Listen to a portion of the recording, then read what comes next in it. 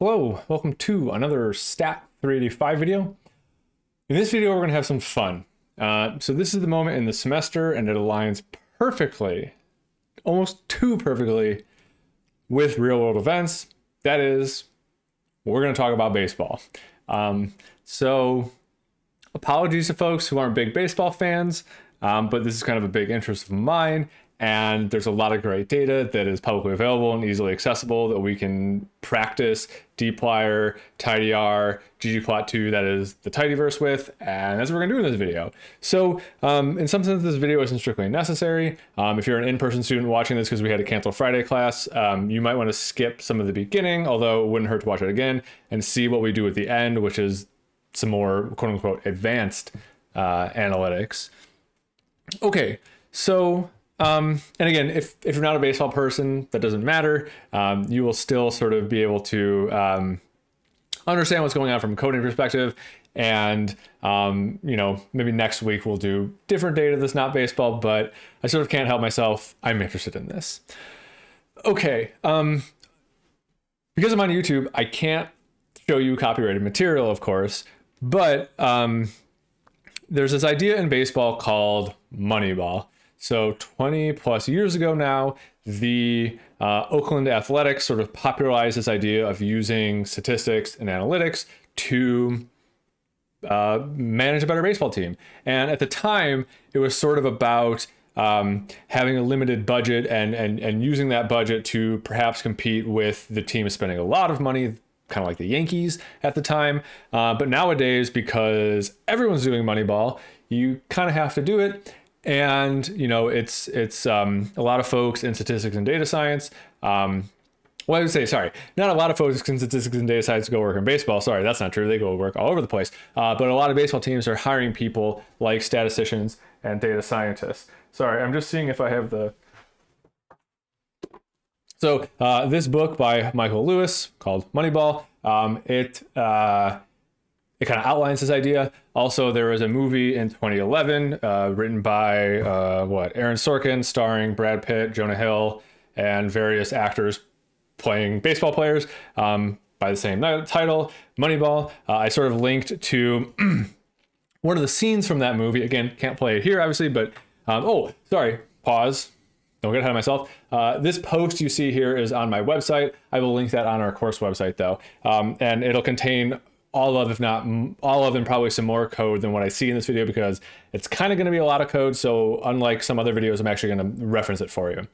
But anyway, um, if you haven't seen the movie, maybe pause this video and quickly watch this video. It will sort of give you a sense of where things were at the time and give you sort of a brief introduction. Um, one of the things that happens in that video is that uh, Jonah Hill's character introduces this thing called the Pythagorean Pythagorean theorem of baseball. Technically, he doesn't call it that in the movie because for general audiences, they would probably be um, lost by that. And this is just a very quick uh, screen cap I took from one of the scenes in that video I linked. And um, this equation here uh, is something that we're going to implement uh, in this video and then sort of graph graphically validate that it is a reasonable thing. I'll explain when we get there.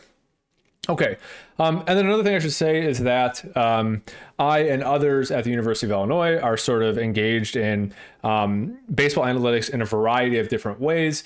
Um, I'll make some comments about that at the end of this video if it doesn't drag on too long. Uh, for those of you that are interested and might want to get involved uh, in some of that kind of stuff. Okay, cool. So again, um, this uh, post you see here is currently on my website, but again, I'll link it on our course website. And it's kind of under construction, uh, but I wanted to get it out there so that as you're watching this video, you could sort of reference some of the code along the way. Don't be surprised if it changes and gets better. Like some of the plots right now don't have titles and axis labels, which, you know, I don't like. So obviously I'm going to fix that, but I just wanted to get you something uh, to work with along the way. Okay, cool. Let's jump in. So um, i might reference this a few times, mostly for my own sake, um, because I might need to, because I'm going to be doing a lot of code, so I need a reference, but I'll try to do it from scratch like I always do. Okay, cool. So let's jump over to RStudio, something like this. Okay, so inside my Stat385 project, I made a new folder called Moneyball, and I sort of created two scripts here that don't really have anything, but just um, uh, they're named after the two different data sources we're going to use. So we're going to use something called the Lahman database, and then something called Statcast.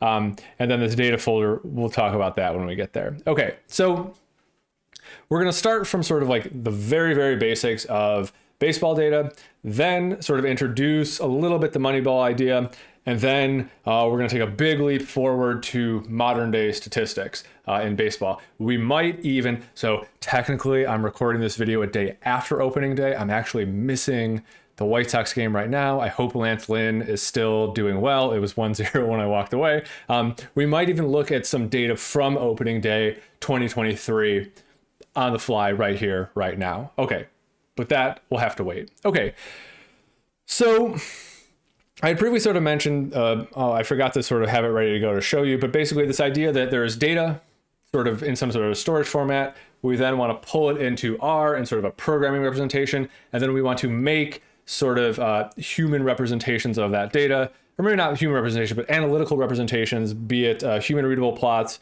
uh, visualizations, or models. Pardon me. Um, we're not going to uh, model, well, actually, we're going to kind of do a, a naive model if you think about it, but so the first thing I want to do is I want to acquire and create and sort data about um, the all-time home run leaders in MLB. Um, uh, this exercise was a little bit more relevant last year because uh, those of you that are following baseball, there were sort of two uh, home run milestones uh, last year. We had um, we had Aaron Judge set the American League uh, single season home run record, and we had Albert Pujols um, uh, break the 700 career barrier. Now, unfortunately, the data we're about to look at is a season lagged, so it's only up to 2021, but let's have a look. Okay, so we're just going to go ahead and load the whole tidyverse. You don't necessarily need to do that, but we mostly need dplyr, ggplot2, um, Tibble, and we might need tidyr, but I'm not sure. Okay, but so um, the data that we're going to look at comes from something called the Lahman database. Uh, I believe it's technically called the Sean Lahman database, um, uh, named after the person that sort of has collated over the years, although um, there are more people behind it, uh, in my understanding.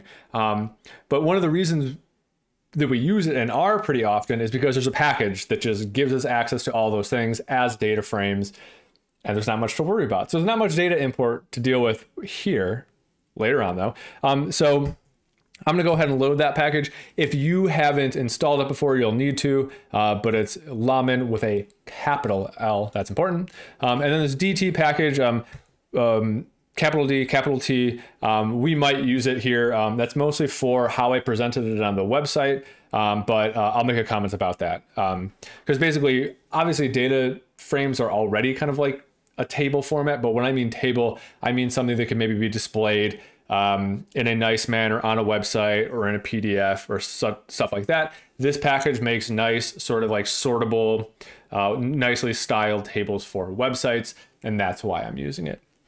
Okay, let's get started. So, um, even though I loaded the package, I'm going to type lahman colon colon. And the reason I'm going to do this is because it brings up the autocomplete and it shows me all of the objects within this data set. And so for the purpose of Stat35, this is great because obviously this is multiple data frames and a lot of them have a way to link them together. So, um, you know, if you're an online student, you already watched the video where we talked about joins. This is going to be, you know, practice doing that because we're going to join information across multiple tables here.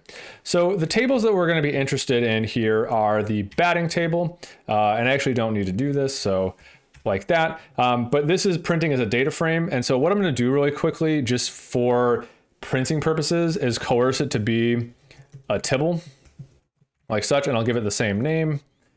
Uh, I technically don't need to do this, but it'll just make our life a little bit easier. Uh, so it looks like this. Again, I'll come back and talk about this in a second.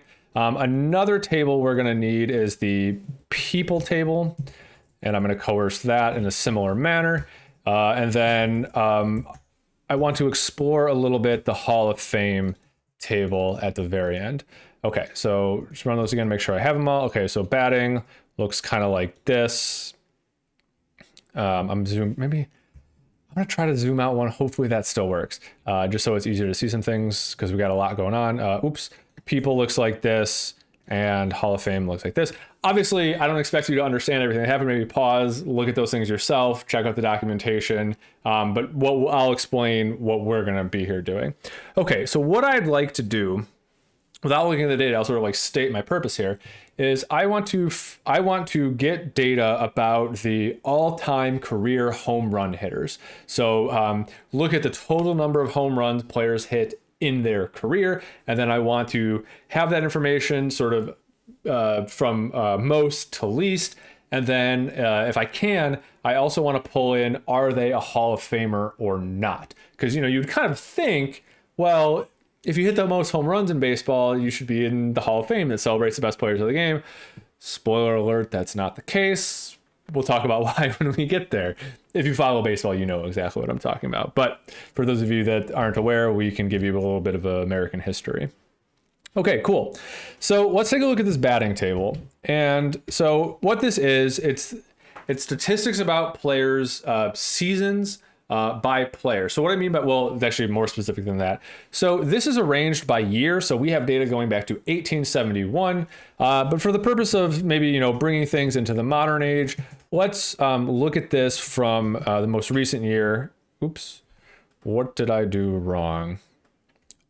Uh, arrange, descending, oh, capital D, I believe. Okay, cool. So what a row of this data is, is a player, year, team combination. And that's a bit of a gotcha on one of the quiz questions, I think, this week, where you need to realize that this is not organized by player season, it's organized by player season team because players can get traded midseason and play for two different teams, and those are shown as two different rows. Um, excuse me. That won't be important for our purposes in this video, but it's something to be aware of. So, and then, um, so for each of these, um, let's see, I think this here is Jose Abreu of the Chicago White Sox. So it looks like he played in 152 games, 148 hits, 30 home runs, um, et cetera, et cetera. Right. So realistically, actually, let's let's focus on uh, Jose. Um, pretty sure that's him. That's a question. Wait, how do I know? we'll get there. Um, but so let's say um, it's got to be because that's Chicago White Sox. How do I know that? Well, we could also talk about that, but we might skip that part. Um, sorry, I want to filter to player ID equal equal this one, right? So um, our goal essentially is for each player in this data set, I want to sum up the number of home runs uh, that they have. So I could do this really quickly for Jose Abreu here. I could say summarize uh, home run equals sum of home run, right? So that's going to sum up uh, the number of home runs he hit. And so uh, this tells me, excluding last season, uh, he had hit 228 home runs in his career in Major League Baseball. Um, in theory, he played somewhere before he came to the major leagues. Okay, so, but that's just for one player. I want it for every player in this data set. So if I didn't filter like this, what this would do is this would sum up all of the home runs hit in Major League Baseball from 1871 to 2021, and it's uh, 316,009. That's a lot of home runs. Okay, but I want this for each player. So this is where we can use the by argument here. Um, oh, by the way, online students, in a previous video, I probably used the group by argument, but as of a couple months ago, instead of using group by followed by a verb, you can now within the verb use this by argument. I would highly recommend you do this. Um, so this will be sort of your introduction to that as well. Oh, and another thing, if in the previous videos you watched about dplyr, you I used a different looking pipe, I would highly recommend you start using this one. You'll see the old one a bit more, but everyone is transitioning to this one now because it is, well, not everyone necessarily, but um, it's built into the language now. And they've also sort of made some improvements to it even after adding to the language. And I would place my bets on this being the future, so I would go ahead and use it this way instead. Um, you can modify the setting in RStudio that changes which one uh, gets used by default with the keyboard shortcut. Okay, but anyway, so I want to do this by player ID. Cool. That looks pretty good. And actually, here we see that one example that we did. So it's good to check our work. And then obviously, we care about the people that have hit the most home runs, right? So let's do uh, arrange uh, descending by that new home run metric. Okay, so an exercise we did in class was to was to sort of like check um, if we had baseball fans in the class and see how many of these players they could figure out based on the number of home runs they hit and their uh, player ID, which it kind of hints at their name, but you can't 100% get it. But uh, see, this is Barry Bonds. Uh, this is Hank Aaron. This is Babe Ruth. This is Alex Rodriguez. This is Albert Pujols, which after the 2022 data is released, he will leapfrog um, Alex Rodriguez. Um, it's Willie Mays, Ken Griffey Jr., Jim Thome, uh, played for the White Sox. Sammy Sosa also played for the White Sox briefly, um, and uh, Frank Robinson, right? Um, and we could go on, we could print more and look at that, but uh, for the for the baseball fans, they're like, yeah, of course, like everyone knows who those people are. But for the non-baseball fans, you're like, um, excuse me, like these are these are just random letters and numbers. How do I know the name of this player? So that's where the people table is going to come in handy. So here we see that this table has a number of things, including the player ID, um, which is going to be the primary key here. Uh, but then we'll also have um, first name, last name, given name. So actually, let's let's take a closer look at that and say, let's just look at uh, player player ID, and then I want to look at name first through name given to see what sort of information I'm in. Okay, so cool. Um, okay, it looks like name given is first middle. So, excuse me. I think we ultimately are mostly interested in the first name and the last name. So what I need to do here is I need to join these two things together. And again, um, we sort of talked about this in a previous video, I'm pretty sure. Yeah, if not, this will be an example of it, but I'm not going to break it down uh, super detailed. Uh, but so what I'm going to do then is I'm going to say left join. And remember, so basically everything up to here, all these manipulations did, that's going to be the, the, the data frame that we're joining another data frame to. Uh, and that data frame that we're going to join is the people data. And then I would sort of recommend always specifically specifying the column that you're joining by. Um, otherwise, it'll sort of tell you which one it auto- automatically guessed, but I would always specify it. Uh, and we want to do it by uh, player ID. Um, thankfully, it's named the same thing in both um, tables. Otherwise, we'd have to use a slightly more complicated syntax. Okay, let's have a look at that. Uh-oh. Error in by, do I have to quote this? That shouldn't be the problem, right? Oh, oh yeah. No, that makes sense. Okay, cool. I always kind of forget where you're allowed to unquote it and when you're not. I figured it out. Okay, so um, this kind of brought in more information than I really wanted, right? So I think what I'll do is I'll say select um, player, well, Play for now, player ID. I might modify this to make it look nicer in a bit. And then, uh, can I steal that? Oh no, I got rid of it.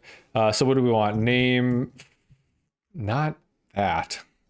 Sometimes autocomplete doesn't do exactly what I think it's going to, and I get a little excited. Okay, cool. Um, oh, I should probably retain the home run information or this whole exercise is useless. There we go. Um, okay, cool. Um, one thing I might do real quick is from the tidyr package, I'm going to use the unite function. Um, let's see if I remember how to do this. So we're going to unite name first through uh, name uh, last. Uh, I always forget. Uh, wait, no, I think so. I need to give it. Oh, okay, sorry. First, I need to tell it what the resulting thing is going to be called, which is name and then it's going to be based on these columns. And the way we're going to unite them is with a separator, uh, and that separator is going to be a blank, well, actually a, an actual space between the two names. Okay, so here we have Barry Bonds, Hank Aaron, Babe Ruth, Alex. I was right. Okay, cool, but you know, that's expected. All right, so we're making a lot of progress. We see um, what's going on here, but now let's let's have a look at this Hall of Fame data. So in baseball, there is this thing called the Hall of Fame. Um, it is both kind of uh, an honorary thing and a physical location in Cooperstown, New York. I've never been there.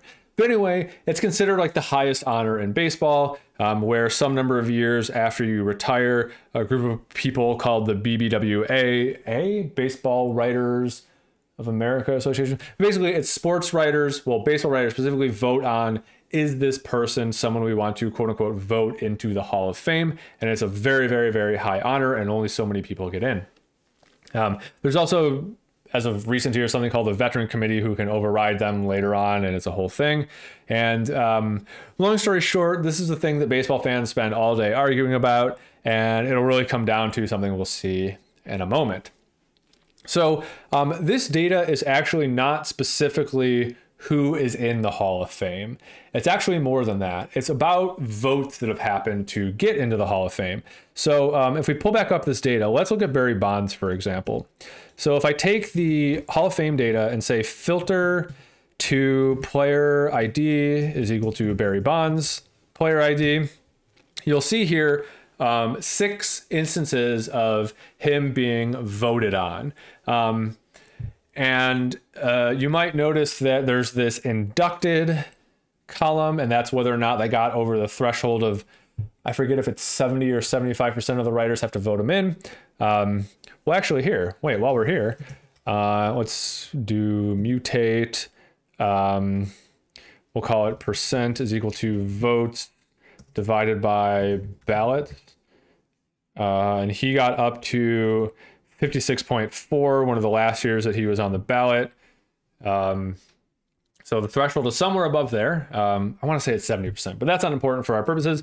But you might notice that he never got inducted into the Hall of Fame despite hitting more home runs than anyone else. Um, baseball people know exactly why this is. For the non baseball folks in the room, has everything to do with performance enhancing drugs, and it is a whole long story. Uh, we're not going to get into it here, but basically, there is this now forever argument within baseball of did players cheat, yes or no, by using performance enhancing drugs? It's a whole thing. It's undecided. People have very different opinions on this. I'm not even going to state mine. Uh, but long story short, yes, despite Barry Bonds having the most home runs hit of all time, he is not in the Baseball Hall of Fame. Okay, cool.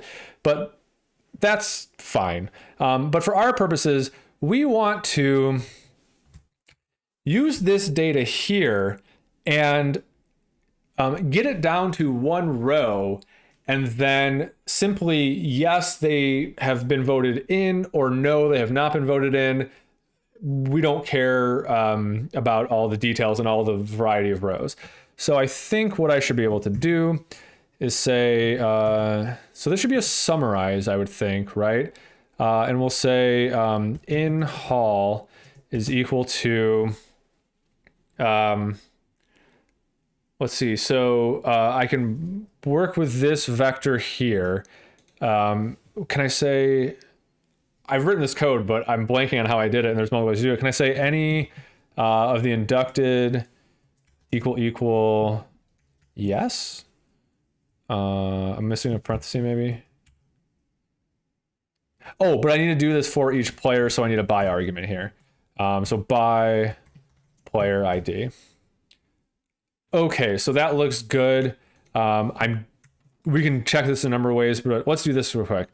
Let's summarize um, n equals n by um, in Hall.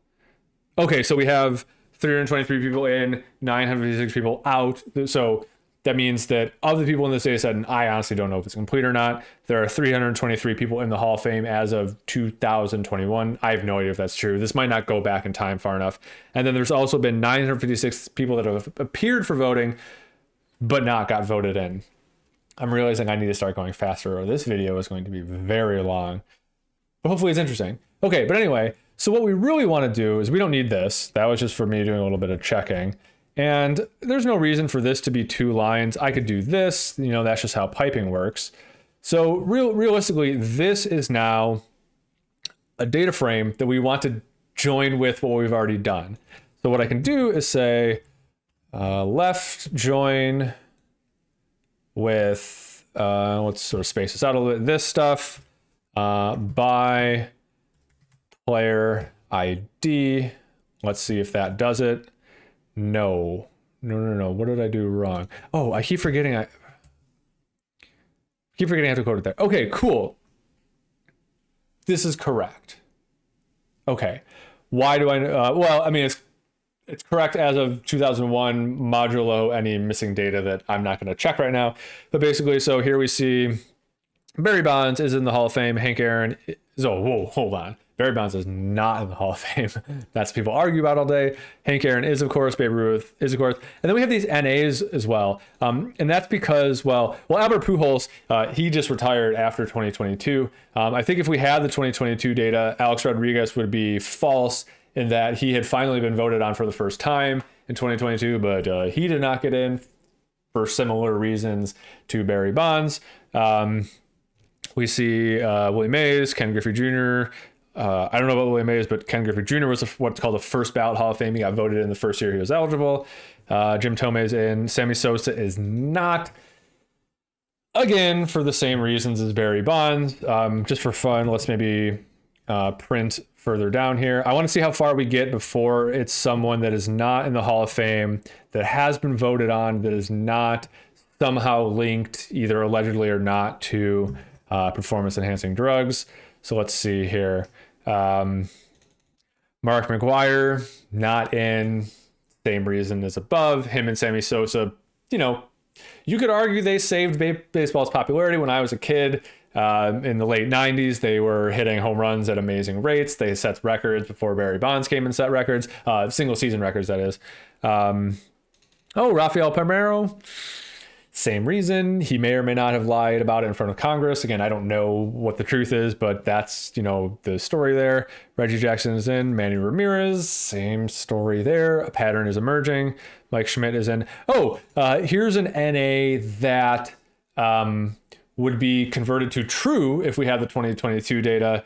Um, although some people would argue that that David Ortiz got named on the same list that leaked to Sammy Sosa, alleging performance injury drugs. Clearly, this is a contentious issue. I don't have an opinion. Um, okay, and then Mickey Mantle is in. Here we go. Frank Thomas. Go White Sox. Um, also a player from the 90s era of uh, performance enhancing drugs, but was never accused to my knowledge. Um, Gary Sheffield, I'm actually not sure. I think maybe he was linked. Don't know. Um, Miguel Cabrera just retired. Um, he all there's a lot of milestones last year. Uh, last year he crossed the 300 hit barrier. Um, and then I believe Fred McGriff got voted in last year from the Veterans Committee. Okay, anyway, um, there's that. Now, um, I'm not going to go through it here, but on the website, you'll see when I did this, it prints us this nice sort of table, right? Uh, and we can sort by home runs. Here, I, I, I kept it at 100 and above. We can sort by uh, Hall of Fame status. We can sort by name. Hey, AJ Pierzynski hit 188. Uh, there's a White Sox everyone everyone likes except for Cubs and a lot of other teams he played against. Anyway, um, Go White Sox. Um, right. So there's that. And how am I doing that? Well, that's with this data table function from this DT package. Uh, so what that does is it takes the data frame and it converts it to an HTML table with a little bit of JavaScript on top. And I tie that all together with something called uh, Quarto to create this website. Um, I should say more about that later, but this video is going to get too long. I want to stick to the um, things that we actually are learning about right now. Oh, hey, look, I did this slightly differently here, but that's another way um, to do that. Okay, cool. Let's talk about the Pythagorean theorem of baseball. So um, in this scene, um, Billy Beane is played by well not in this scene but in a scene that precedes this billy beane is played by brad pitt. Uh, and this character that's that's jonah hill's hand there that you see pointing. He's playing a character called peter brand. Um, i forget which of this is history and which of this is like stretched history but long story short billy beane was the general manager of the oakland athletics. And long story short they didn't have as much money to spend as other teams like the yankees. Of course you have to name check the yankees there. Okay so um, I forget if this is fictionalized or not, but he met Peter Brand, who was working for the at the time Cleveland Indians, now Cleveland Guardians. Um, and this scene is sort of Peter Brand taking him through some of the analytics that they'll be using. And one of the things they're so when, when he when he he does the whole baseball thinking is medieval speech, he says you shouldn't want to buy players, you should want to buy wins. And how do you buy wins? With runs. And there's this formula that we're looking at here that basically it's a formula that says here's how many runs you score in a season, here's how many runs you give up in a season, and you can use those numbers to predict what your winning percentage is going to be. And we'll we'll look at that equation in a second. Well, it's actually this exact equation. But so this 841 here is runs, and this 645 is runs against. So that's how many runs you give up. Um, and then so, you know, we're obviously going to see the whole procedure here, but like then you would sort of seek to to acquire players that could you know and estimate how many runs they would get you, how many runs they would give up, et cetera, et cetera. And that's and we wanted to ask the question: Is that true? Like, does that actually work out that way? Okay, so um, here is uh, a little bit of a reference about this on Baseball Reference. Um, if you find yourself being interested in uh, baseball analytics, you'll probably find yourself on two websites pretty frequently: baseballreference.com and Fangraphs. Um, I actually mention Fangraphs a little bit later when I mentioned one of my colleagues. Um, well, our work has been featured there, and his work was on their podcast recently. But anyway, so um, sort of one of the people who really developed this idea of Moneyball. Um, before that, it was kind of called sabermetrics. Is this uh, person named Bill James, uh, and he came up with this thing called the Pythagorean theorem of baseball, and it looks kind of like this. And we're going to go ahead and check it out does it actually work the way they say it works? So the way we're going to do that is like this. Okay, so there is this Teams data frame inside of um, the Lahman package. Uh, it'll look like this if you print it. Um, let's let's do this. Let's uh, coerce it to be a tibble so it's easier to see. And then we'll say Teams, uh, and then I want to arrange it by. Actually, let's just let's straight up filter it to um, year ID is 2021. This is the most recent season in this. Okay, so here we see 10 rows. Makes sense. There's 30 teams and there's 20 that are not printed. Uh, and so here are my White Sox that year. Uh, they won 93 games, lost 69 games. Pretty happy we're looking at the 2021 data and not the 2022 data because for the White Sox fans out there, we did not do as well in 2022. 81 and 81. Okay, but anyway, so um, another thing you'll see in this data is this runs here. So that's a total number of runs they scored that season. And then there is this, uh, it's here somewhere, runs against. So to look at this, let's do this. Uh, let's do um, select uh, year ID, team ID, uh, wins, nope, comma comma wins, comma losses, comma runs, and comma runs against. We don't really need losses, but okay. So now what I can do is I can apply the Pythagorean, excuse me, I can apply the Pythagorean theorem of baseball. So to do so, it's a function of these two things, right? So make a new variable that's a function of two other variables. That's a mutate. Uh, so I'll call it uh, pi. How do you spell Pythagoras? Spelling is hard so pyth w uh, percent because it gives us the winning percentage. So what it, what was it? It was runs squared divided by runs squared plus runs against squared. Okay, so there we have that. Then if you know anything about baseball, there are 162 games in a season. So to get the estimated wins from win percentage, we would do um, so another mutate, and we would say Pythagorean wins is 162 times uh, that thing we just calculated, which was this. Um, and then we don't have to do this, but customarily you should probably round that because you can't win 95.9 games. I don't know how that would happen. Um, so it looks like this. Okay, and we can kind of see 59 versus 52, 96 versus 88, 52, 52. Ooh, Baltimore, I'm sorry. Um, see, Baltimore would have much preferred I included 2022. But anyway, let's just look at this, right? Time to plot it. Uh, so we'll pipe this to ggplot. Uh, on the x-axis, we'll put um, let's put the true wins on the x-axis and the estimated Pythagorean wins uh, on the y-axis, and then uh, let's plot them as points. hey, that looks pretty good. Uh, let's uh, change the theme because I very much dislike that one. Uh, and let's maybe go ahead and add a, uh, how do you say, uh, a smoother.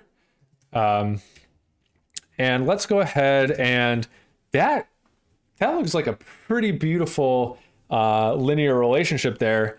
So let's do, um, method is a linear model. This part, this exact part, unless you've taken 425 or 426, you know, don't worry about this too much. Um, and then I'm also going to specify the formula just because otherwise uh, it'll bark at me and say, hey, this is the formula we think you want, but I'll just say this. Minus title, subtitle, caption to say data source, and fixing up the um, axes names. This looks pretty good. But this is only for 2021 what if we want to do this throughout history? Okay, so rather than uh, filtering to 2021, let's do from, uh, let's not do everything because it'll be so much clutter on the graphic. Let's do from 1990 onward, roughly when I maybe started watching baseball. Um, I won't reveal what age I was at that time. Okay, cool. And we see this. And mm, that doesn't look as good, right? Something something is up here. What's the deal with this? And we pause and we think and we go, this is one of those cases where data visualization just like it shows us so quickly that like, hey, something is up in this data. Now, if you didn't know anything about baseball, it might be a bit tricky to figure out what on earth is going on here right? Because you know you see that there's an issue with the pattern, but then you'd have to like dive in and try to find it.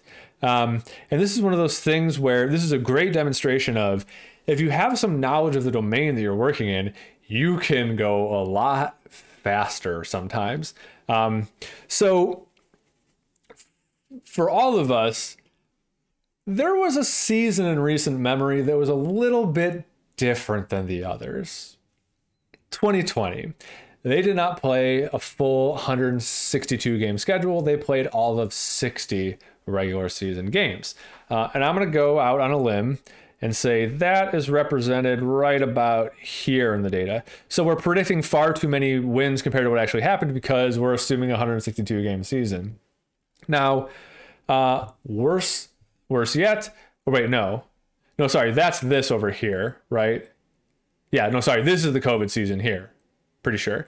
Um, but another sort of similar thing that has happened in my lifetime, maybe not yours, was in 1994 there was a labor issue and the players went on strike and the season just kind of stopped midway through and there was no World Series that year. And as a White Sox fan, especially a young White Sox fan that I was, that was devastating because that was one of the best White Sox teams of my lifetime.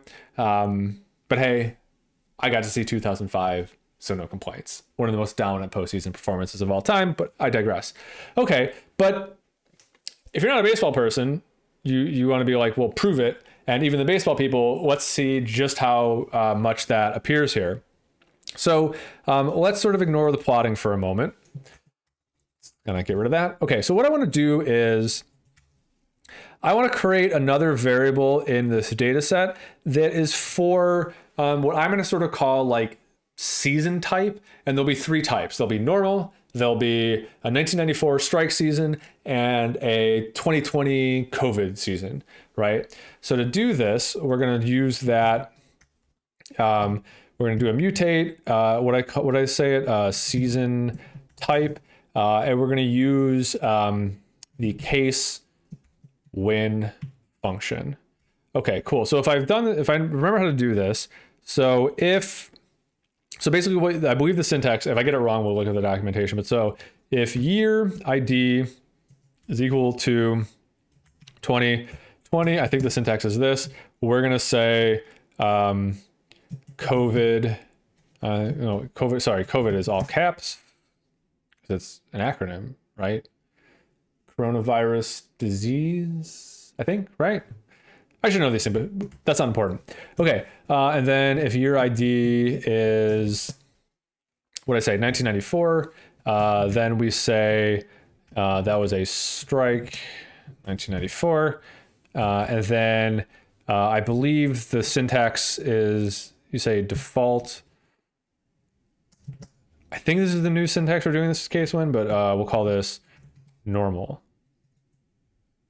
Let's see. No. Uh, so this is good because it gets me to look at the documentation. Um. Oh, okay. So it's. Well, hey, that makes sense. Okay, cool. So here we see that. Um, and now I'm going to assume that works correctly, and those other ones are in there for the appropriate years. And now, but so what we can do with this is okay. So now we pipe it in here, and what we'll do is we'll say um, color. I don't know if I always forget if it's color or fill, but you know, I'm guessing check. Um, color is based on the season type. Beautiful. I was exactly correct. And this plot shows us that. And we see, hey, look, that linear relationship holds within those three sort of groups. We can do one better though, um, because this whole this whole notion of multiplying by 162 here was kind of silly, because within the data, if we go back, one of the variables is number of games played. And if you know anything about baseball, there haven't always been 162 games. So thinking back to the home run stuff we were doing, um, so last year, Aaron Judge hit 62 home runs, breaking Roger Maris's American League record of 61. Here, we're sort of ignoring Barry Bonds in the National League.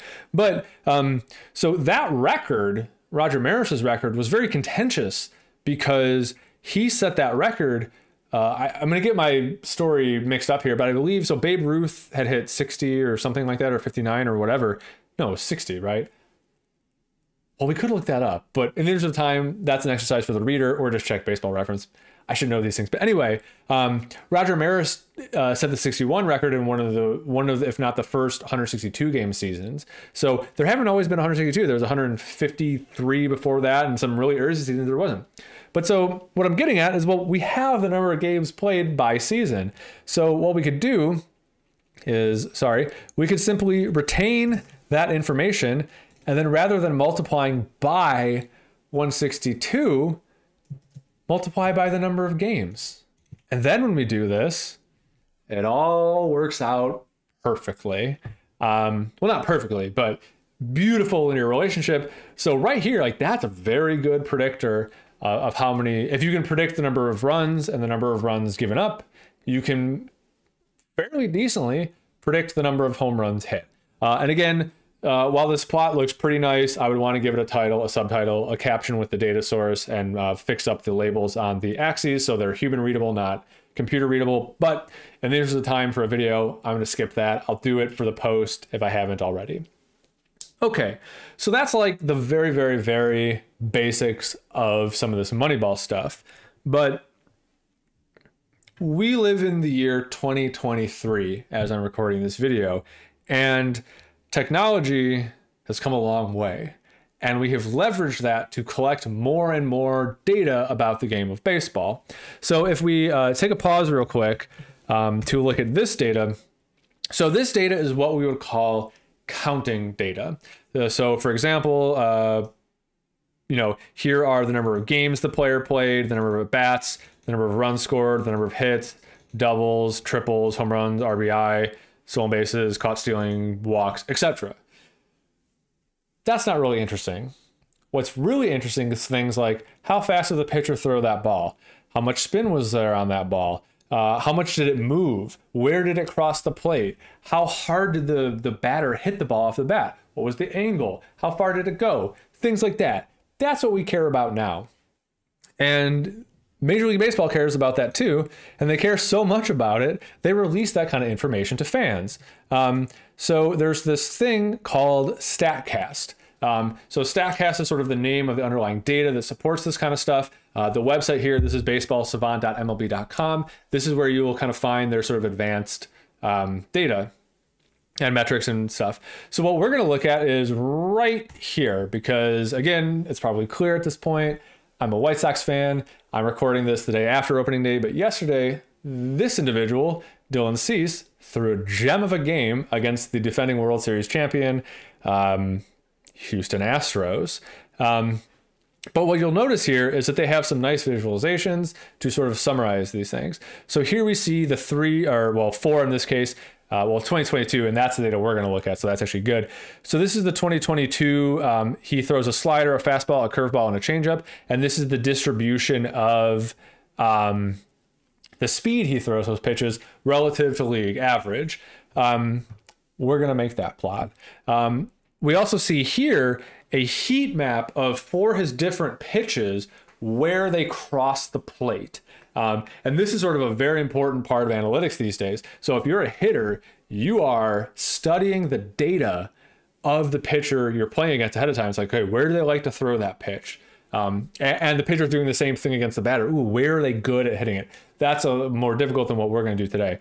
Um, these are actually these graphics are based on data from yesterday, um, but we're going to recreate these uh, from uh, his average of last season. One, because these plots are simply a better tool with more data, and he only has one game in 2023 and he had like 30 in 2022 um, and uh, well i prepared for 2022 but as a bonus uh, excuse me we'll try to get that uh, 2023 data because we can. Okay so to do this we're going to move over to the statcast thing here. Uh, so I'm going to load, we already loaded the tidyverse. To, to make some of the nice plots I'm about to make, I'm going to need this ggdensity package um, and this ggridges package. And I don't know if we're going to need DT, but I might make a table along the way. Okay, cool. So how do we get this data? So um, there's something called search here. And you can sort of put in all of these different parameters here and then click search and you can get yourself a CSV. I don't want to do that. What I want to do is use this package I wrote. Uh, I call it BBD for baseball data. Um, and basically what this is, is this is an R sort of wrapper around the API that is exposed to us via uh, Baseball Savant. And so basically we can just ask from R, say, hey, give us the data from these days. Um, technically, you could I the way you could say give it to me um, based on these days in this player, but we're going to kind of collect a lot of data. Um, I should note there, this isn't the only package to do this. Um, this baseballr package is the really popular one for doing this, and honestly, I'd probably advise you to use that. The reason I'm showing you BBD is um, but one, I wrote it, and I guess I wanted to show you. But more importantly, um, I think BBD, if you look at the source code for it, it's going to be a lot more understandable than the baseballr package, simply because baseballr just has a lot more features, which makes it more complicated. Uh, but, but because BBD is pretty lightweight, um, and it doesn't have a lot of features currently, it might be sort of understandable to someone who's only had a semester's worth of R. And I say this because it's hosted on GitHub. You can uh, browse the source code by clicking here or here. And if you are interested in package development and baseball and wanted to contribute, I would invite you to do that. Have fun. Um, make a PR and I'll give you comments. All right. So um, uh, I need to steal a little bit of code from myself. Um, don't mind. Oh, no, spoilers. That's what we're going to make. Um, so, okay. So I'm going to need this and I'm going to need this. And I'm going to need this. Oh, I'm definitely going to need this because this is code I can't write on the fly. Okay, so what do I, what is all this stuff? Okay, so first of all, I'm going to need something called Dylan Cease's player ID. Um, but how do I get that, right? So within the BBD package, I have this people search function where you give uh, sort of a human readable name. And what it's going to do, it's going to do a thing called a fuzzy search, and this is not important. And it's going to give you back uh, a data frame here with various players with similar names. Uh, here's Dylan that we're looking for, and this 656302 is what's called his um, MLB AM ID. Uh, AM here stands for Advanced Media. Uh, ostensibly, I think that's the group that started like the MLB online streaming stuff, but they're now responsible for collecting the data. I think. Don't quote me on that. I just know it as MLB AM, and I know that's the thing I want. So this line of code here, I want to be really careful and say, feel free to run it, but it would take a long time because what this is going to do is it's going to acquire a row for every pitch that occurred in the 2022 season. And you might imagine, actually, I'm going to comment this out to make sure I don't run it. You might imagine that that is a lot of pitches. So feel free to run that, but it's going to take a while. Um, and then what I'm doing here is I'm filtering to that data that I acquired to Dylan Cease, the relevant player. I'll comment that out too. And then, and so this here would be a, a data frame. And one of the ways that we haven't talked about yet, but one of the ways you could sort of import and export data is via what's called serialization. So when I click, when I run this save RDS function on that object and then give it this file name, what that does is it creates what's called a .rds file. And what that does is it takes the data frame that you created and writes to a binary format that can be stored on the computer. Um, but it's it's not using an intermediate exchange format like CSV. It's saying we are going to store this exact R object on a hard drive. And then I don't need to do that because I already did it. And so what I'm doing here, uh-oh. Oh, I know my problem. Uh, so this is a working directory issue. So because uh, I'm doing everything based on where I am. So I need to be based on file location. Now it'll work. Okay, so basically I am in this uh, Moneyball directory. And so what I did is I set my um, working directory to there, and then I'm relative referencing this file here, which is all those pitches. Now you're probably thinking, well, like I don't have this SC 2022. I actually, I wrote that to disk too, but I didn't put the code for it. Like I don't want to download all that, take forever just to get this Dylan Cease data. Never, never, never worry. That's this file right here. So if you download that and put it within a data folder within the script that you're running, um, you can acquire all that data and then run this. Let's have a look at that data. Okay. Um, actually, I'm going to run. So what this function here, we'll need this in a bit. This is going to put a strike zone on top of a plot. That's not important. That's just something I need. Uh, so it's there. Uh, credit to um, Jim Albert's uh, blog slash um, package called called strikes. This is a modification of a function he did there. Um, he is, well, he has many things in the baseball analytics world, uh, but he is one of the authors of this book called Analyzing Baseball Data with R. Highly recommended if you want to get into this kind of thing. And it's also um, kind of like the stuff we're doing here. It'll go through a lot of this kind of stuff, which will give you a lot of practice sort of wrangling data and whatnot. Also, shout out to something that we'll talk about later, which is Stat 430, a topics course um, about baseball analytics, where uh, Jim Albert has, I believe, been a guest speaker. Um, so more on that later though. Okay, cool. So I loaded that. All right, so let's look at this data I'm talking about. Cease 2022. Okay, so it's a lot of data. But like I said, what a row of this data set is, is an individual pitch that occurred during the 2022 season. Um, they're not necessarily in any sort of order, although uh, you have information to recreate the order. So actually, let's um, let's pull up a data viewer around this so I can sort of talk through some of it. Um, on that Statcast search site that we were on briefly, uh, if you click here, uh, it'll take you to it'll take you to some documentation about this data, but I'll sort of walk you through it real quick.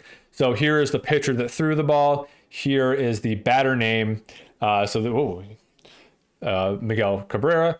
Uh, the pitch type. So in baseball, pitch type just means like um, it's categorizations of pitches based on sort of um, well, what the pitch? There's types of pitches. So there's fastballs that go straight and fast. There are curveballs that go uh, slow and kind of loopy. There are sliders that are kind of faster and kind of like sweep at the end, sinkers that kind of go straight and then die at the end, stuff like that. I should add to the post um, a thing about one, a game to play to test can you do that very well? And two, if you're new to that kind of thing, um, how to sort of like understand that as a watcher of the game. I'm going to make baseball fans of folks that aren't baseball fans. Okay, how fast was the pitch? Um, where was his arm when he released it? Um, oh, I should get rid of this. Um, that doesn't need to be there. Uh, th- these two columns are not necessarily in the data directly from StatCast. I'm using a function that kind of does some processing as well, but uh, more on that if you're interested. Okay, what actually happened as a result of that pitch necessarily? Um, but the interesting stuff is, um, again, there's all sorts of stuff. Who was the home team? Who was the away team? Here is some of the interesting stuff. So this is how much movement on the horizontal axis did it have?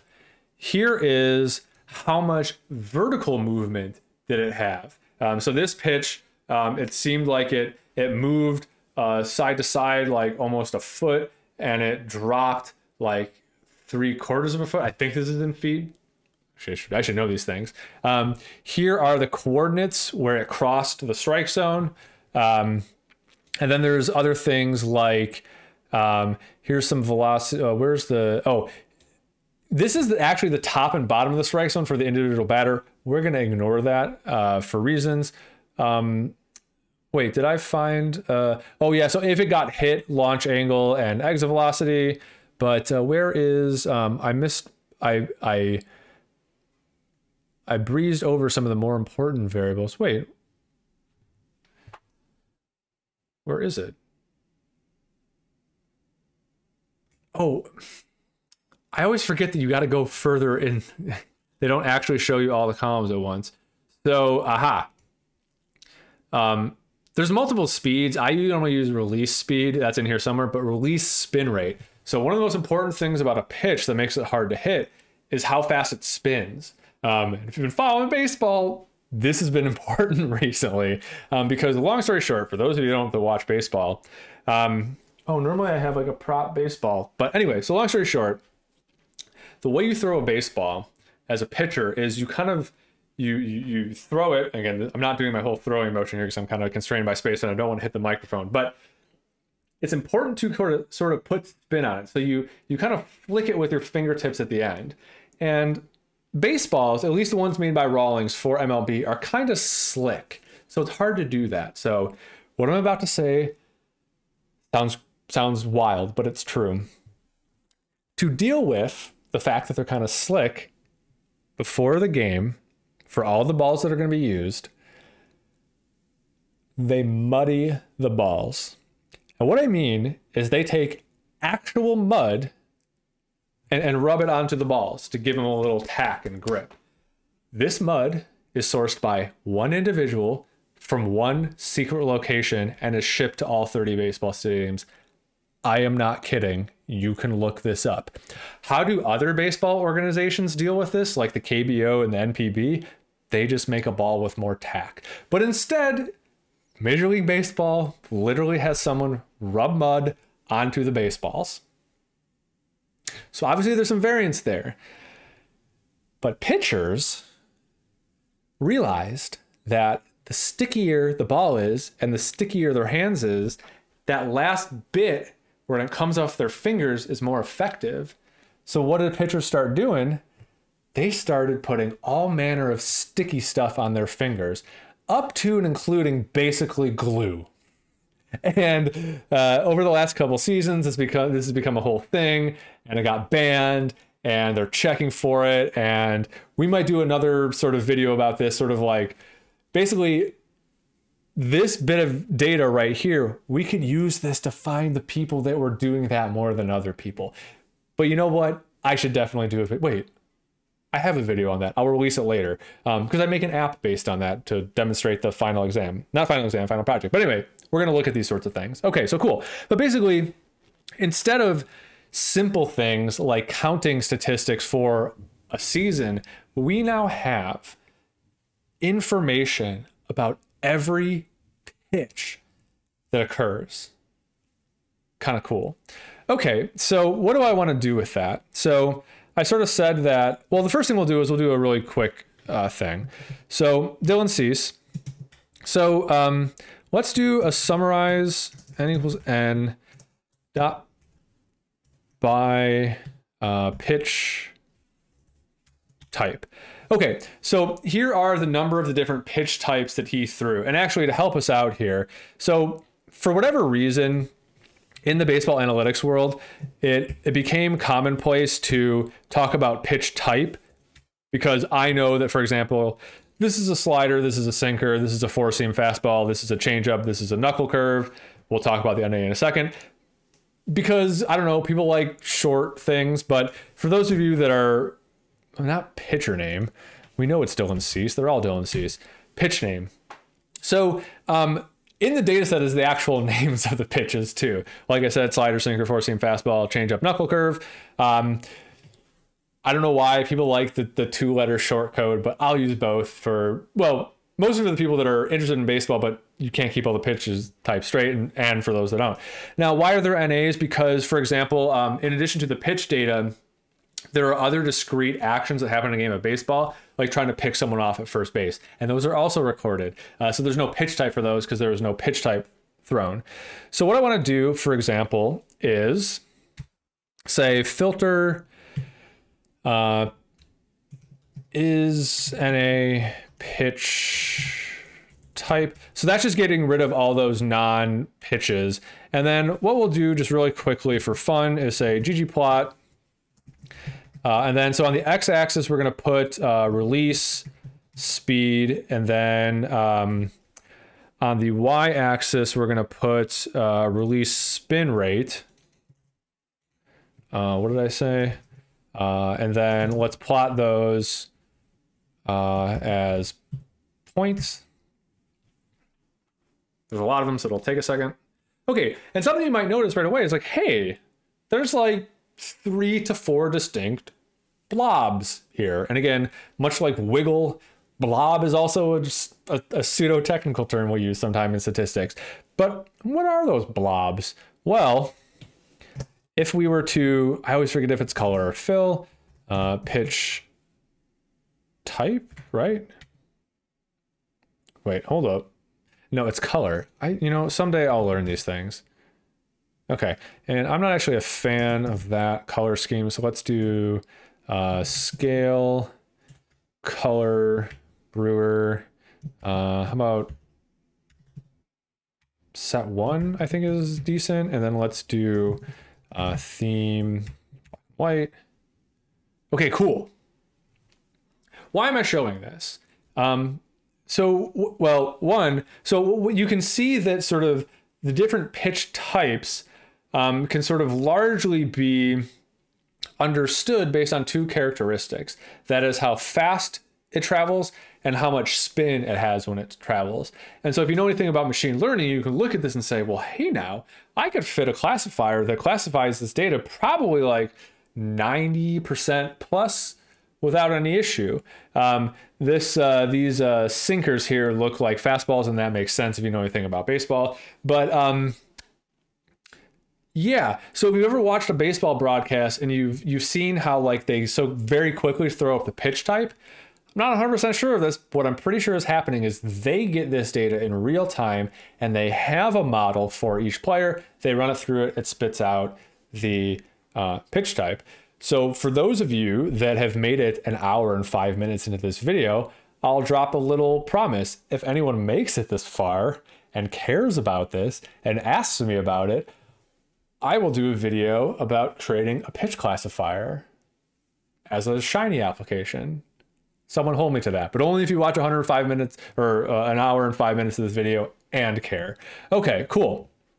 What, but what I said is I wanted to go back to Dylan Cease. I want to make this graphic and I want to make these graphics. Okay. So for the first one, we can start from here.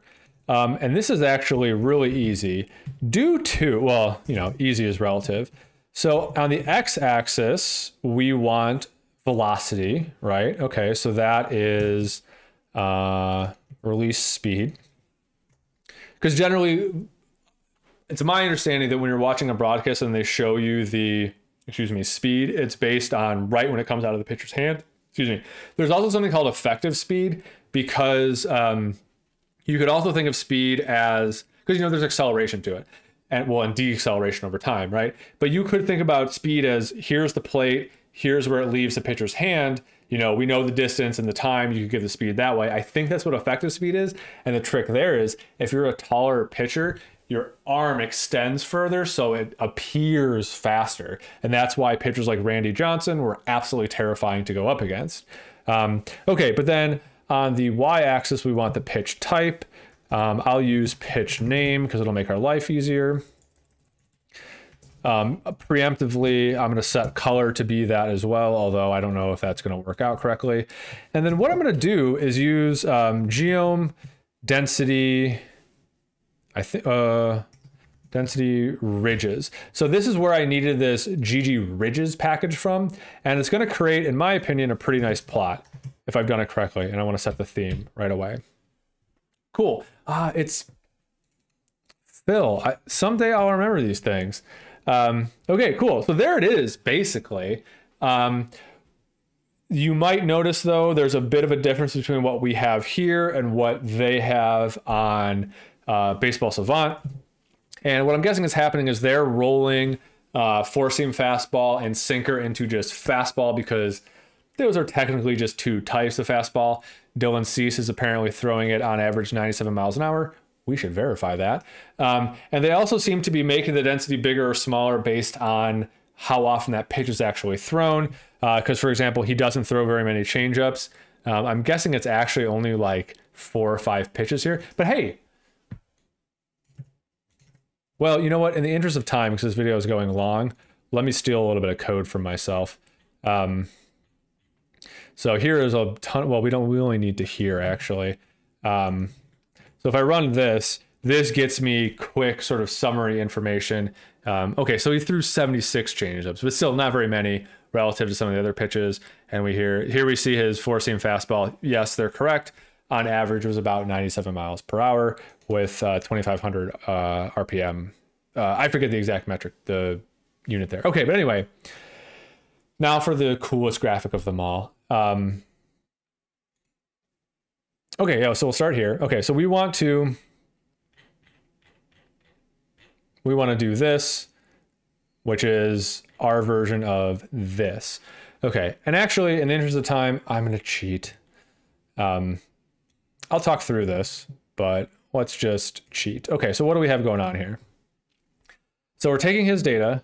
Oh, because the distribution is going to be pretty affected by if it's a, a right-handed batter or this is awkward for me, a left-handed batter because you're going to throw to different sides of the plate based on that because you're trying to strike the guy out. We'll only look at right-handed hitters, the more common, ignoring NAs, then piping the ggplot too.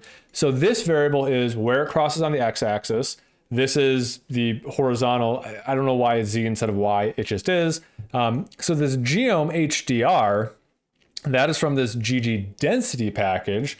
Uh, and what that is going to do is sort of do our version of uh, these sort of like heat map ish type things, except uh, the way I'm doing it is so the lightest one will show you where 95% of the pitches are, and the darkest one will show you where 5% of the pitches are, and these probabilities in between, and that'll actually appear on the legend. So this geom strike zone is this thing I created earlier that will place the strike zone on the plot um, then, in addition to the sort of heat, we're also going to put the um, actual pitches, and we'll toggle that on and off to see what it looks like. Uh, a little bit of theming, a little bit of messing with the theme, uh, changing colors, and then what I'm doing here is to create one for each pitch. We're using faceting. Cool. All right, let's run that. It looks like that. Um, for the record, if we turned off the points, uh, it would look kind of like that, which is cool. Um, again, we're not.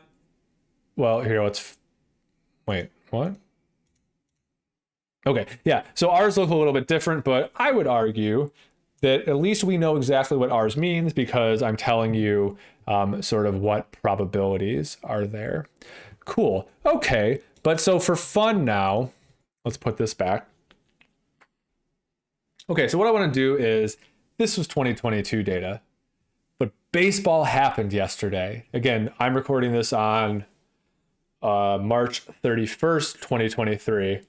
Opening day was March 30th, 2023.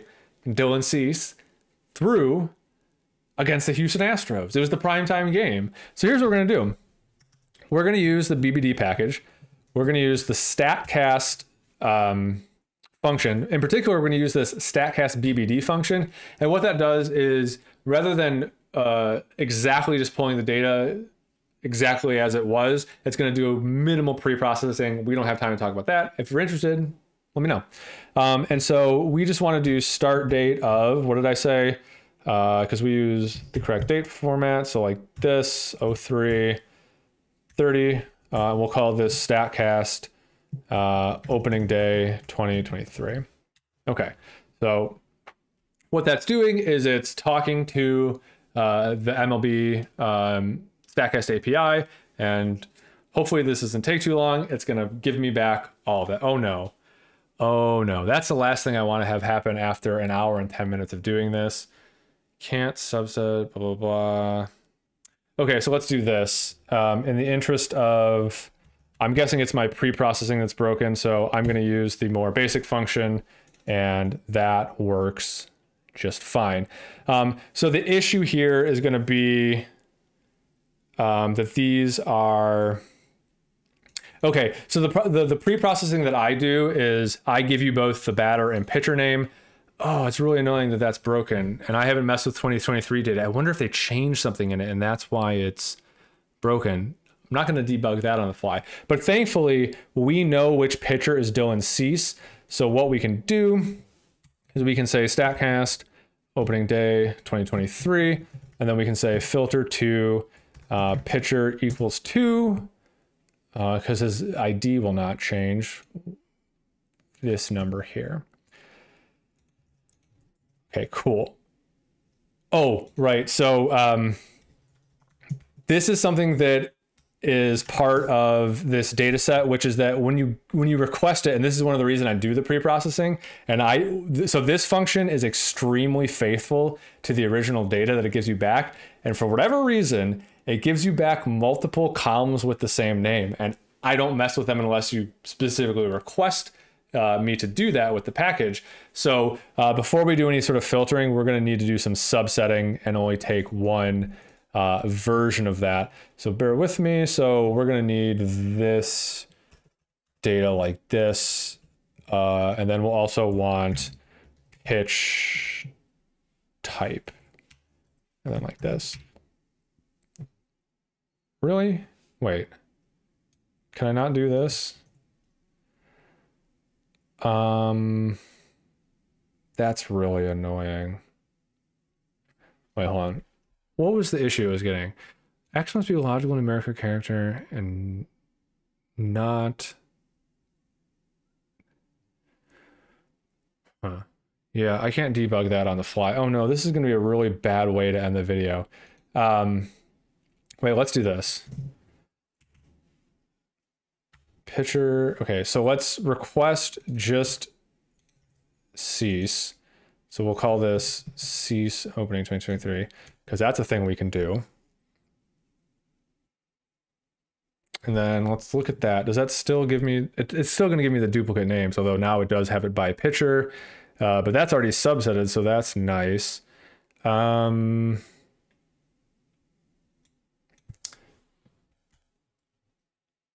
Uh, can I do...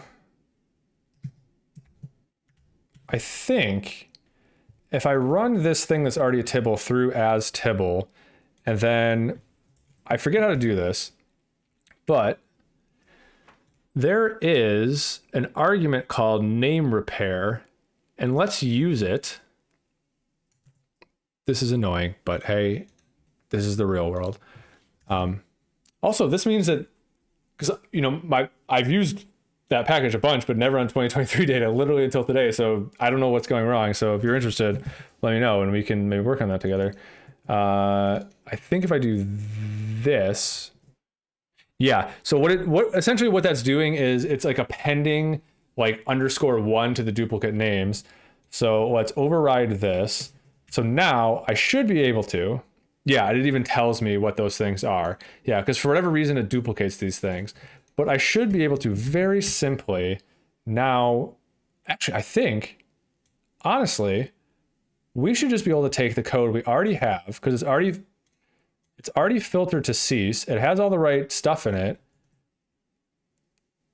It just works, except for let's turn off this because that was me sort of messing with um, the location of the legend, but that changed based on the fact that the faceting there weren't as many things. Um, so this should more or less be this. Uh, so here's his knuckle curve, which they're calling a curve. That you know, you know, they're visualizing it differently, but it's definitely doing the same stuff. Uh, here's the four seam. We sort of see the heat in the same area, and the slider. You know, we see it a lot of it out of the zone, down and away. Same thing here. So there's that. Pretty cool, huh? Okay. Oh, I'm getting tired.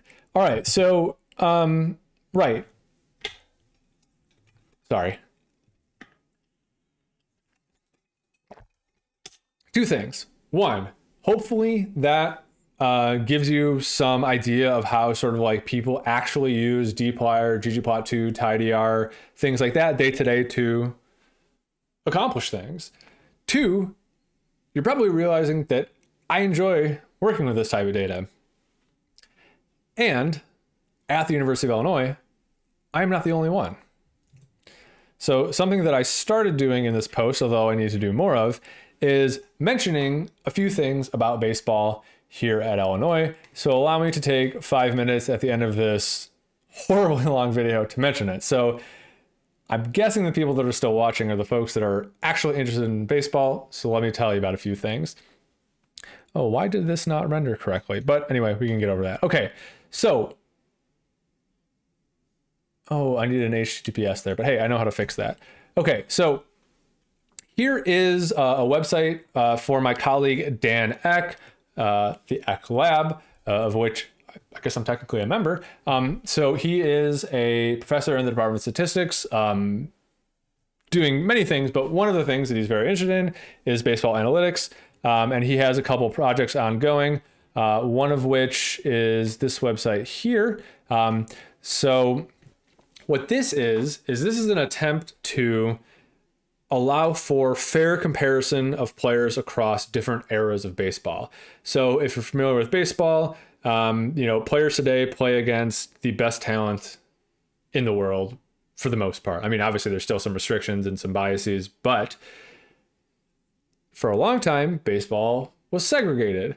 So when you have a player like Babe Ruth, who is you know, no matter what, one of the best of all time, he wasn't playing against all the potential talent in the world. So, how do you deal with this? So, Dan, together with a history professor, Adrian Burgos, uh, they came up with this um, sort of system for attempting to uh, unbias these things. And so, if you're a baseball fan and you want to start arguments about who's the best player of all time, here you go. I will say that it does not adjust for performance enhancing drugs usage. That's harder to do because we don't know who didn't, who did not. Um, but they did some they do some interesting things around populations, um, uh, like the like Earth population at various times in various places, and interest in baseball in those places, and who was allowed to and who was not allowed to play at various times. It's a very interesting um, project. Um, a project that I'm involved with with Dan is this thing called SEAM, uh, and what we're attempting to do here is um, for a specific batter pitcher matchup if the ball gets hit into play, where is it going to go?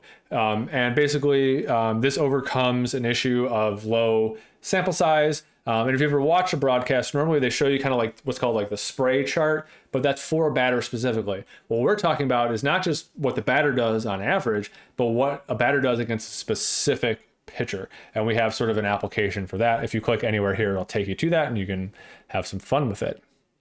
Okay, cool. Um, so I think this website is down, and that's really disappointing. So it was it was literally working yesterday. Um, so uh, Professor Alan Nathan over in physics um, has been doing baseball type stuff for before I started here at Illinois. Um, I think I'm guessing. Um, he's obviously more interested in the physics side of thing, as what you would suggest by uh, baseball.physics. Um, he has collaborated with I think MLB directly when they were worried about there were too many home runs. And I, I forget the name of the report, but I believe he's one of the co-authors of the report that sort of suggested maybe what was going on with a combination of the balls and other things. Um, yeah. Um, and then a few news articles here that we'll talk through really quickly um, that are posted on the stat website. So this is to let you know that Stat 430 baseball analytics exists sometime. Unfortunately, I think it's not happening in the fall, uh, but that is of course taught by Dan. Uh, I guest lecture in that course, but again, more interesting than just me guest lecturing is folks like Jim Albert have guest lectured, um, and, and, and and people from within MLB organizations, uh, other people from within the analytics space, um, uh, the people from within in academia. It's uh, it's a really interesting course if you're interested in baseball. Okay. Um, then um, here is a note about uh, one of my former colleagues, uh, former member of the Department of Statistics, Ehsan Bokhari. He is now an assistant general manager for the Chicago Cubs. Uh, prior, he spent time with uh, originally the Dodgers and then the Astros, and now he's with the Cubs. He is also someone that has come and guest lectured in the uh, baseball analytics course. So if you're interested in breaking into uh, baseball analytics and working for a baseball organization, these are the type of people that you want to meet, and that class is an opportunity to do so. Um, this is a piece about a student. Uh, one of was yeah, he was my student once. He was Al Nathan's student previously, Charlie Young. Um, he has worked with Dan and I on that SEAM methodology we talked about prior, uh, and he is now a, what, what is his title? Quantitative developer with the Houston Astros. Uh, but he is one of a growing number of students that have worked with myself, Dan, and Alan that are working for MLB organizations. Um, there are a growing number of Illini out in uh, baseball analytics. So again, if that's the kind of thing that you're interested in, um, yeah, there are people doing that kind of work here, and you just gotta kind of find out when they're doing it. Oh, and this is a this is the article about um, the full house model. Sorry, uh, the the adjusting across eras kind of thing. Uh, if you're interested in that kind of thing, somewhere in here, I hope they mentioned that. Did they not? Uh, so long story short, um, Adrian and Dan went on the Fangraphs podcast called "Effectively Wild" to discuss it there. Uh, if you're into baseball and podcasts, I highly recommend Effectively Wild. Uh, but in particular, the episode where Dan and Adrian talk about their method, it's kind of a it was it was super cool for me. It was like, wait, because that's just a podcast that I listened to, and then I was like, oh, wait, that that's Dan. I, I talk to him like every day. That's so cool. Um, so there's that. Um, but yeah, I'll clean this up a little bit and uh, you know put additional resources here. Oh, I, because I can't find their website right now. Uh, there's a group on campus called Illini Analytics. They do sort of in-house analytics for the men's baseball team here at the University of Illinois. That group was actually started by the aforementioned Charlie Young, uh, but has continued on uh, since he's graduated and they're still uh, assisting the team. So we're, we're using these sorts of things here at Illinois to assist um, the baseball team. So again, if that's kind of thing you're interested in, I would highly recommend getting in touch with those folks and maybe trying to join. I don't know if they're looking for more people. I, but you know, you might want to go talk to them. Okay. I'm rambling. This has been a long video. I understand, but hopefully you got something out of it, especially if um, you're a baseball person. Uh, I promise I won't do too much baseball along the way, but some things I can't help myself because they're, they're like the, the, the data is readily available and um, it it just lends itself to so many cool applications really quickly. Then that's just where my my mind goes these days. Breathe. Okay, cool. Sorry. All right. So um, again, I think I sprinkled a few like, hey, if you want to know more, let me know. Um, post on the discussion forum, say like, hey, let's talk about that thing you talked about. Um, because uh, I don't want to just do baseball, baseball, baseball unless there are people truly interested. And to those of you that don't care about baseball, I promise I won't do too much more. Okay. So hopefully this recording worked. Hopefully it didn't like get corrupt on me an hour ago and I should have stopped. But assuming it worked, as always, if you made it to the end of the video, good job.